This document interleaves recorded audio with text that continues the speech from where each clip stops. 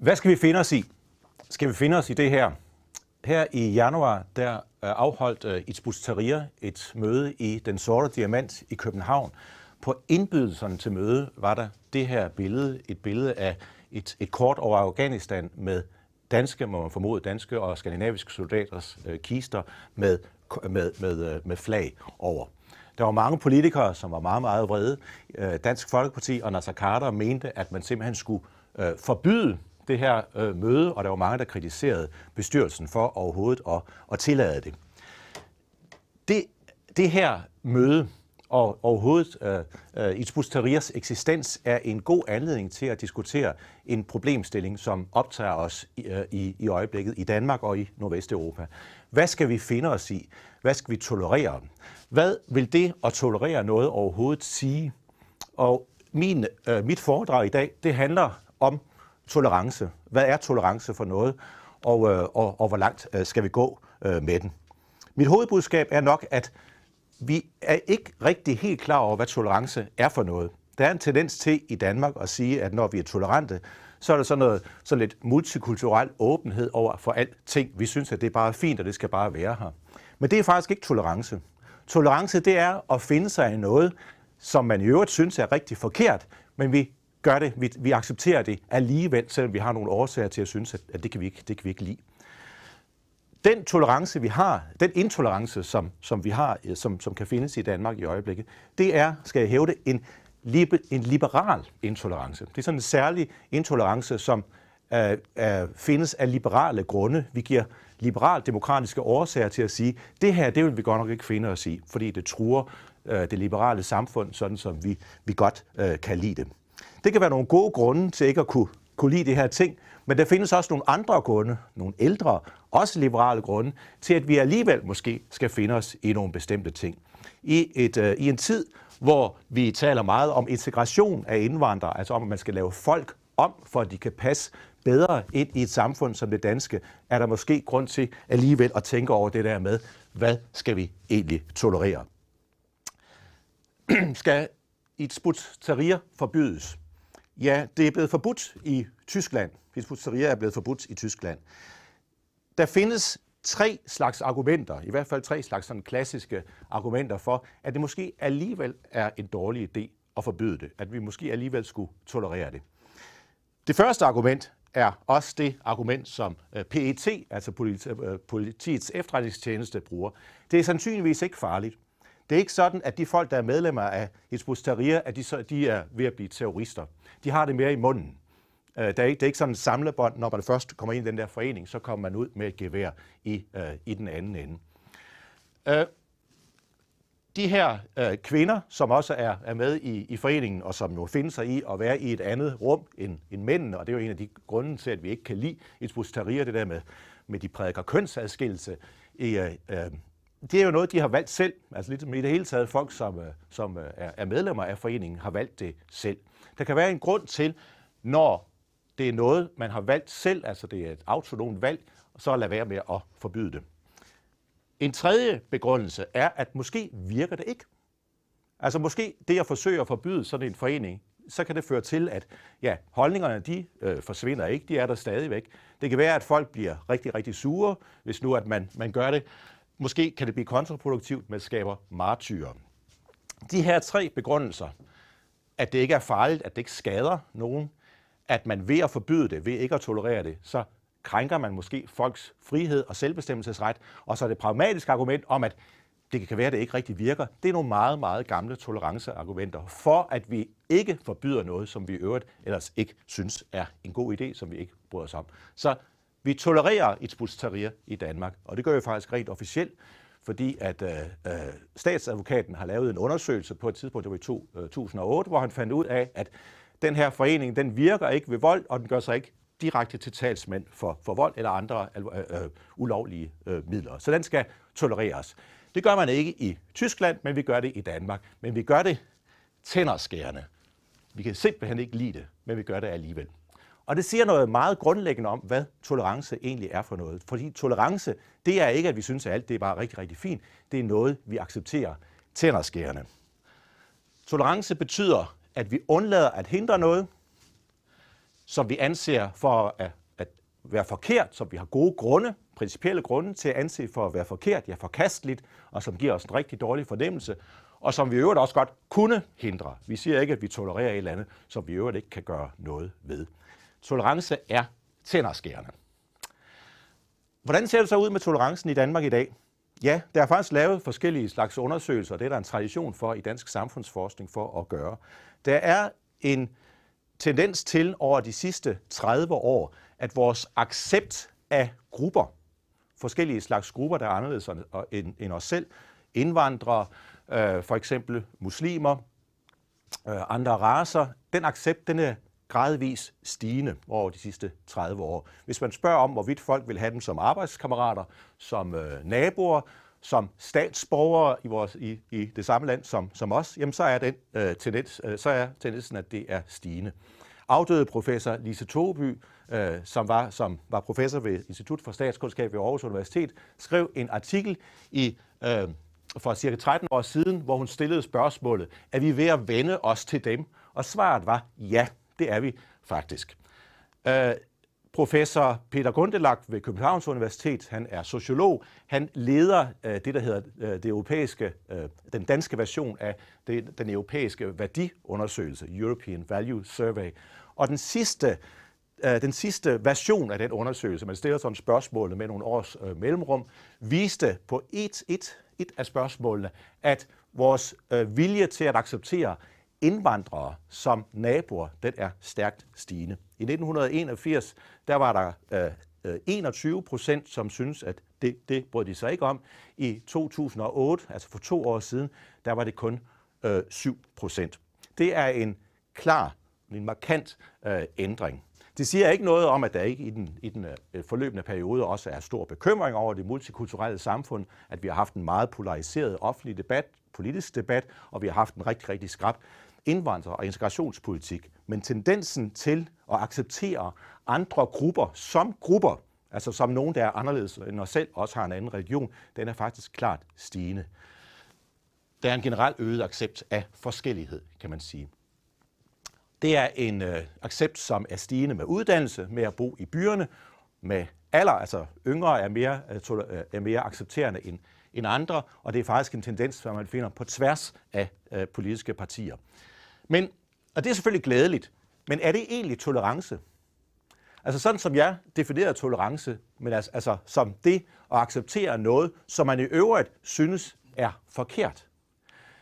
Øh, vi synes jo ikke, at det er forkert at være sort. Vi synes ikke, det er forkert at være bøsse. Vi synes faktisk heller ikke, det er forkert at være muslim som sådan. Så vi siger heller ikke, at vi tolererer de her grupper. Det er simpelthen at bruge det forkerte ord. Vi vil sige, at vi anerkender, vi værdsætter, at vi accepterer den som nogle legitime medlemmer, lige, ligeværdige medlemmer af samfundet, som grupper, som sådan. Man kan faktisk sige, at den her vilje til at leve med bestemte andre grupper, eller andre identiteter, kan man kalde det, det er da sådan lidt den nemme tolerance. Det er selvfølgelig vidunderligt, at vi er blevet mere tolerante på den måde. Men den hårde, den svære tolerance, det er det at kunne leve med former for adfærd og værdier, som vi i øvrigt ikke bryder os om, og som vi føler, vi har gode grunde til at synes er forkert. Og det er lidt noget andet. Spørgsmålet er, om den form for tolerance er øget i Danmark. Se, det jeg hævder, er, at når vi er intolerante i Danmark, fordi det tror jeg nok ikke kun i Danmark, men i Nordvesteuropa, der er en tendens til at være mere intolerant på nogle bestemte måder, så er det en særlig liberal intolerance. Det er en intolerance, hvor vi henviser til liberale grunde, og det betyder øh, hensynet til øh, det, de værdier, det samfund, som vi betragter som vores, som vi ser som et liberalt, demokratisk øh, samfund. Vi vil ikke tolerere det, der undergraver sådan et samfund, sådan en livsform. Man kan sige, at i dag er det ikke sådan som i øh, regionskrigens tid, hvor vi ikke tolererede kættere, altså dem, der ligesom bare mente det forkerte i forhold til os, der havde sandheden. Nej, i dag er det sådan, at det er nogle bestemte former for, eller andre raser for den sags skyld, det er en bestemt adfærd, en bestemt, nogle bestemte værdier, som vi anser for at, for at være forkerte. Og de, den adfærd og de værdier, det er næsten altid noget, der har at gøre med traditionel radikal islam. Ikke muslimer, sådan i bred almindelighed. Det er der faktisk undersøgelser, der viser, at, at, at, at det at være muslim, det er okay som sådan. Men man må ikke være islamist og, og radikal muslim. Så hvad er det så for nogle ting, der sådan trigger den der liberale intolerance? Ja, det er sådan the usual suspects. Det er ikke så, så, så overraskende sikkert. Her er nogle eksempler. Sådan nogle øh, minareter, øh, moskéer, der er meget tydelige og traditionelle i det offentlige rum. Hvad er der egentlig, der foregår herinde? Lærer de, øh, bliver de sådan radikaliseret? Bliver de terrorister? Måske kunne man sige, at det er, måske, det er, lige, så usandsynligt, det er lige så sandsynligt, at de gør det i en eller anden, øh, måske i en, øh, en øh, fabriksbygning. Øh, øh, hvorfor, hvorfor bliver det her? Det er, ikke, det er ikke klart, det gør nogen stor forskel, men, men, men det er noget, der, der skaber intolerance. Det, at kvinder tager tørklæde på, dækker, dækker sig til, signalerer, at de, øh, de ikke øh, er lige så meget værd som, som mænd, det er noget, der gør os øh, intolerante. Koranskoler, eller i Danmark muslimske friskoler, de ser selvfølgelig ikke ud som, som den her. Hvad er det, de lærer der? Menneskerettigheder, lærer de nok om det? Demokrati osv. Og så er det der med Isbus Sharia, altså foreninger, som er åbenlyst ikke demokratiske og måske lige frem støtter udemokratiske regimer eller Taliban i, i, øh, i Afghanistan. Den liberale intolerance har en række forskellige argumenter. Øh, sådan forskellige sådan, måder at, at, at, at sige, at vi skal ikke være tolerante over for de her øh, forskellige øh, øh former for, for adfærd. Og der er, jeg vil sige, der er fire, der er måske flere, men der er i hvert fald fire vigtige, og de er også overlappende, og man bruger dem i, for, i forhold til forskellige former for praksis. Det er sådan noget, man kan se, hvis man kigger på, på den offentlige debat. En, og det er nok den vigtigste, vil jeg sige, det er, at vi er meget lidt tolerante, vi er meget lidt tilbøjelige til alt andet lige at acceptere, at folk ligesom undertrykker deres selvbestemmelse og evne til at være selvstændige, autonome øh, mennesker. Folk skal være liberale, ikke bare i den forstand, at man overholder loven, øh, men at man ligesom lever som et frit menneske. Altså man sådan, øh, og man opdrager sine børn til at, at være det. Det er sådan noget, der går helt ind i familien, hele vejen ned i personligheden. Selvbestemmelse og lighed. Det, der ikke fremmer det, hvis man sender børn på opdragelsesrejser, hvis man går med tørklæde, hvis ikke man får børnene i børnehave osv., osv., det vil vi ikke rigtig tolerere. Al den form for religiøs adfærd, som vi ser at krænke skæld mellem det private og det offentlige, hvor vi ligesom siger, at det religiøse, det er sådan noget personligt, det skal vi have derhjemme i det private rum. Men, men hvor vi siger, mange siger, at muslimer er det mere tilbøjelige til at, og, ligesom at, at have en adfærd og en form for religiøse ritualer, som sådan skal være synlige. Det er sådan en del af religionen, at man sådan træder ud i det offentlige rum og viser sig som muslim. Det er vi utilbøjelige til at acceptere. Så kan man så mene, at der er sådan lidt double standards der. Er det nu helt rimeligt? Fordi i virkeligheden er kristendommen, kristne symboler, kirker og, og øh, øh, øh hvad hedder det, øh, offentlige øh, øh, gudstjenester i radio og tv, det er jo i virkeligheden meget, meget offentligt. Men ikke desto mindre er der den her manglende alle lige accept tolerance over for, for det der med religiøsitet i det offentlige rum. Liberal kultur og sammenhængskraft, det er sådan lidt mere indirekte argument. Vi er utilbøjelige til at tolerere forskellighed som sådan, hvis det er noget, som, sådan som helhed øh, truer det, vi siger, vores liberale kerneværdier. Uanset om der lige den ene eller den anden form for adfærd eller værdi er noget, vi ikke kan, kan lide. Hvis det bliver for forskelligt, jamen så, så, så, er vi ikke længere, så har vi ikke nok sammenhængskraft og tillid og solidaritet. Det er afhængigt af, at vi alle sammen øh, deler sådan en værdi konsensus. Det er et ofte hørt argument. Og så måske det dire- mest direkte, og vel også måske det, et af de bedste argumenter, vi vil selvfølgelig ikke tolerere det, der er decideret undertrykkende, altså øh, tvangsægteskaber, omskæring og den slags forfærdelige ting. Desværre bliver selvfølgelig, når det sådan er altså mere i det grænseområde, de grå område, hvad er det egentlig, som er øh, undertrykkende. Jeg har nu en tese op, en, en, en idé om, det er sådan en måde sådan at, at, at tale om det med tolerance, på at det, jeg kalder for tolerancens rum, det er ved at blive mindre. Hvad mener jeg med tolerancens rum? Ja, tolerancens rum, det er simpelthen det, vi ikke bryder os om, men som vi dog finder os i, som vi dog tolererer. Det er sådan det klassiske. Så er der noget, som vi egentlig synes er okay, og som vi måske værdsætter, og det, hey, det er fint. Det er det her over. Det, er ikke no- det tolererer vi ikke. Det er bare noget, det er der bare. Det er fint, det er der. Og så er der noget, vi ikke vil finde os i. Under ingen omstændigheder. Det er bare no-go. Det er det her over. Se, der er en tendens til, at det her tolerancerum, det der med, at vi kan finde os i noget, selvom vi ikke kan lide det, det bliver mindre. Den ene årsag til det er jo glædelig. Det er, at vi faktisk har færre fordomme. Det er mere sådan en åbenlys racisme overfor, eller, eller øh, islamofobi, eller sexisme, eller, eller bøssehad, øh, der, som siger, at der er nogle bestemte grupper, vi simpelthen bare ikke vil have hos os. Det er der meget mindre af, eller det er der i hvert fald mindre af, tyder det på. Og det er godt. Men der er nok også en tendens til, at hvis der er noget, som vi synes er forkert, har gode grunde til at synes er forkert, jamen så er det ikke bare noget, vi synes, så skal vi også gøre noget ved det. Så skal det forbydes, så skal det afskaffes. Så skal vi i hvert fald, ligesom, vi skal forsøge at, at ændre det. Det kan der være gode grunde til, igen. Det jeg siger, det jeg påpeger, det er bare, at den tendens er stigende, og dermed mindskes tolerancerummet i Danmark og i øvrigt i Nordvesteuropa. Jeg kommer ikke ind på de her grunde til ligesom at, at sige, at til, ligesom, hvad for nogle grunde til ikke at tolerere nogen af noget er egentlig gode nok. Jeg siger bare, at vi skal huske på, hvad de klassiske årsager til, at vi måske alligevel skal finde os i noget, som vi ikke kan lide, hvad det er for nogen. Og jeg har nævnt de tre første. Hvis nu det ikke skader nogen, og hvis det heller ikke åbenlyst skader folk selv, skal det så forbydes? Ja, det, det er i hvert fald en overvejelse. Hvis, hvis det at forbyde noget krænker folks individ, øh, individuelle øh, frihed og autonomi, skal vi så forbyde det? Det er i hvert fald mere tricky, det er, det, er, det er sværere, det er mere indgribende, hvis det er sådan noget, der virker på folks sindelag og, og, og værdier inde i hovedet. En ting er at sige, det må man ikke, det har vi en lov, der forbyder. Det er, sådan, det er til at tage at føle på. Men det der med sådan at, at ændre folk og forme dem ind i hovedet, og når de ikke vil, det er måske mere øh, problematisk.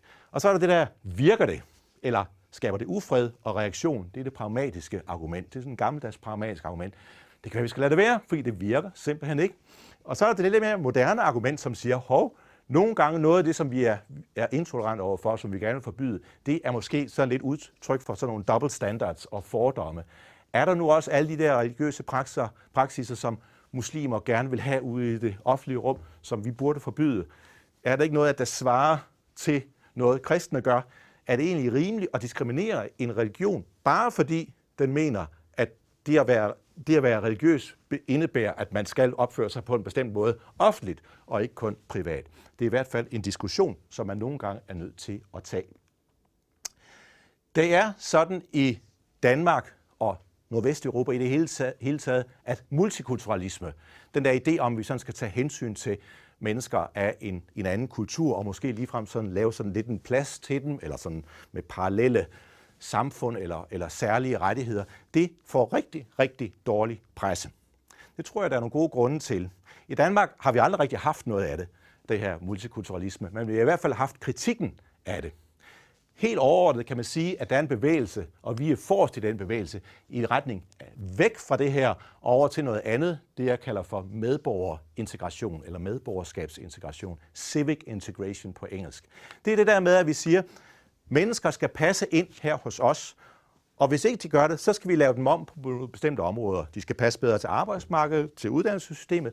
De skal måske også passe bedre til den måde, vi sådan fungerer i velfærdsstaten. Børnene skal gå i skole på en bestemt måde, man skal indtræde i forældrebestyrelserne på en bestemt måde, man skal, op, man skal deltage i politik på en bestemt måde, man skal måske gå i svømmebad på en bestemt måde. Der er en hel masse ting, som man skal gøre på en bestemt måde. Måske skal man også have nogle bestemte værdier og tanker inde i hovedet.